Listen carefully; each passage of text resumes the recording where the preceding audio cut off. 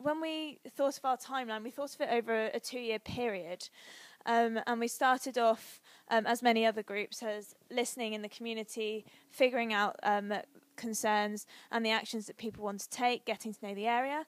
And we thought the different uh, tools that could be used could be something like um, Yammer uh, for for telling stories, things that people say, um, group texting for communicating with um, with people as you build up build up networks of people around different ideas.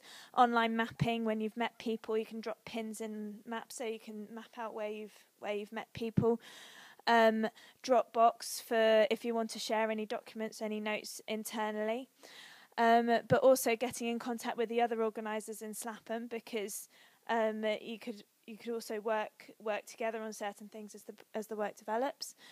Um, then looking towards supporting people to take different actions, so project development or campaigns, um, perhaps something like a community celebration, perhaps something like merging the community association and the park, uh, both of which aren't doing particularly well uh, individually, but together perhaps could work quite well. Um, and then looking at perhaps using Twitter, Facebook for publicising those things. And then in the year two, it's a case of, well, who knows what's going to happen because you're not going to know that until you've actually worked with the community, listened to them, and figured out what their priorities are.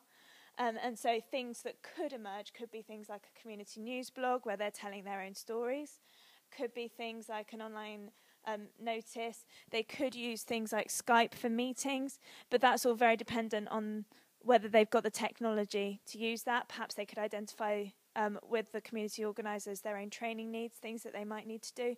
But again, until you've actually engaged with the residents and the community, it's quite difficult to tell what their uh, technical needs are going to be. And I think that's kind of the conclusion we ended up with.